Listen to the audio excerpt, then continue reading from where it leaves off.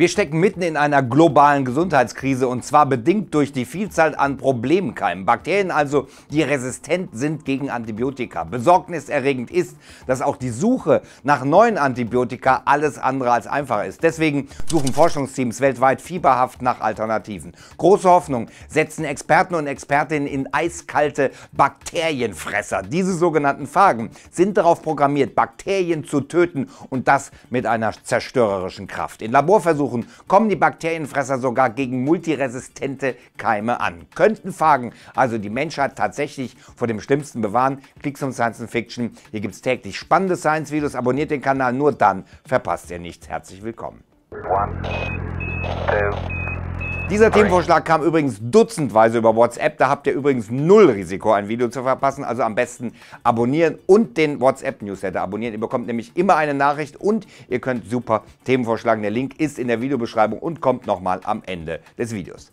Wir haben erst vor kurzem bei Klicks und Science Fiction über die Killerkeime berichtet, die sich mittlerweile auf der ganzen Welt breit gemacht haben und das auch in den entlegensten Winkeln dieser Erde, beispielsweise im unberührten Arktisboden, wurden Gene davon gefunden. Es scheint also so, dass wir Menschen den Superkeimen schutzlos ausgeliefert sind und die Waffen der Medizin immer stumpfer werden. Studien zufolge sterben schon jetzt jährlich weltweit, Achtung, 700.000 Menschen an Infektionen durch medikamentenresistente Keime. Bis 2050 könnte diese Zahl auf 10 Millionen Opfer steigen im Jahr. Das sagen zumindest Hochrechnungen einer britischen Forschungsgruppe voraus. Im Klartext hieße das dann mehr Tote durch resistente Erreger als durch Krebserkrankungen. Das kann man sich eigentlich gar nicht vorstellen, aber es gibt immer wieder Menschen, die an bakteriellen Infektionen sterben. Und zwar unter den Augen von Ärzten, die verzweifelt ein Antibiotikum nach dem anderen verabreichen und das ohne Erfolg. Die Vereinten Nationen hatten die multiresistenten Keime schon 2016 als die größte und dringendste Gefahr überhaupt bezeichnet. Und so forschen Wissenschaftlerinnen und Wissenschaftler weltweit mit Hochdruck daran, neue Waffen gegen die Superkeime zu entwickeln, um noch das Schlimmste abzuwenden. Bakterienfresser, sogenannte Phagen, könnten manchen Fachleuten zufolge vielleicht die letzte Hoffnung sein. Im biologischen Sinne kann man sie als Viren bezeichnen, die es allerdings einzig und allein auf Bakterien abgesehen haben und diese angreifen und auflösen. In der Fachsprache spricht man von Lysieren. Phagen sind eigentlich überall. Es gibt Schätzungen, nach denen sie zehnmal häufiger sind als Bakterien und auch in unserem Körper sind ständig Phagen zu finden, die wir beispielsweise über Wasser und Essen aufnehmen. Spannend dabei ist, dass Phagen wirklich alles andere als das neue Wundermittel sind. Die Bakterienfresser wurden nämlich schon vor 100 Jahren entdeckt.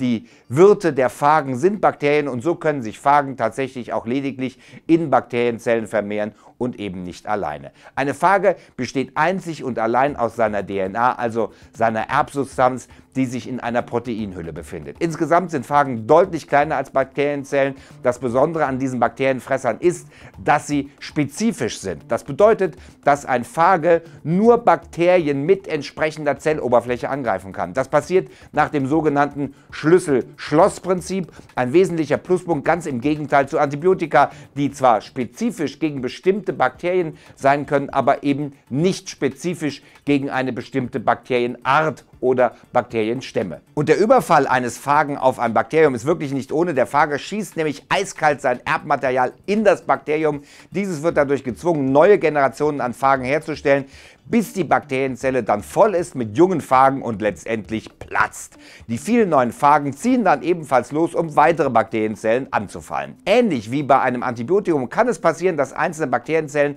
eine Resistenz gegen den spezifischen Phagen entwickeln, doch das lassen sich die Phagen nicht gefallen und entwickeln ebenfalls sogenannte Mutationen. Diese versetzen sie dann in die Lage, auch die eigentlich resistenten Bakterien anzugreifen. Wenn somit alle Zielbakterien abgetötet sind, zerfällt der Phage selbst in seine Bestandteile, da es ihm an Nahrung fehlt. Der menschliche Organismus ist in der Lage, die Reste der Bakterienfresser zu verstoffwechseln. Und das Problem ist gelöst. Und es gibt einen weiteren enormen Vorteil der Bakterienfresser im Vergleich zu Antibiotika, denn es gibt wohl nur wenige Nebenwirkungen wie etwa Allergien. Doch zu 100 Prozent sicher sind die Phagen wohl auch nicht, denn Studien konnten zeigen, dass sie ungeahnte Fähigkeiten haben, die uns langfristig gesehen auch schaden könnten. Offensichtlich sind sie wohl in der Lage, unter gewissen Umständen Resistenzen auf Bakterien zu übertragen.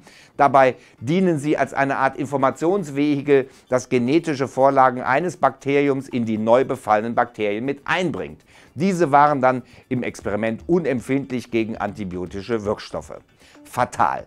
Die Phagen hatten die Bakterien also nicht zerstört, sondern im Gegenteil, sie hatten sie sogar noch gefährlicher werden lassen. Genanalysen könnten dieses Risiko allerdings senken. Zusammengefasst könnten die meisten ihrer Eigenschaften die Phagen dennoch zu einer wirklich guten Alternative zu Antibiotika machen. Weltweit laufen dazu viele Experimente. In einigen konnten die Bakterienfresser zeigen, dass sie sogar gegen multiresistente Bakterien ankommen. Im Übrigen gilt, eine Phagen- und Antibiotikumtherapie schließen sich sich nicht grundsätzlich gegenseitig aus, sondern können auch nebeneinander angewendet werden. Super daran ist einfach, dass Phagen unbegrenzt zur Verfügung stehen und zwar in natürlichen Systemen. Wegen der Spezifität, die ich ja schon angesprochen hatte, ist es dann notwendig, die geeigneten Phagen gegen den bestimmten Krankheitserreger zu finden. Wissenschaftlerinnen und Wissenschaftler nehmen dafür beispielsweise Proben aus Klärwasser. Dort gibt es besonders viele Phagenschätzungen zufolge bis zu 100 Millionen verschiedene Arten in nur einem Milliliter.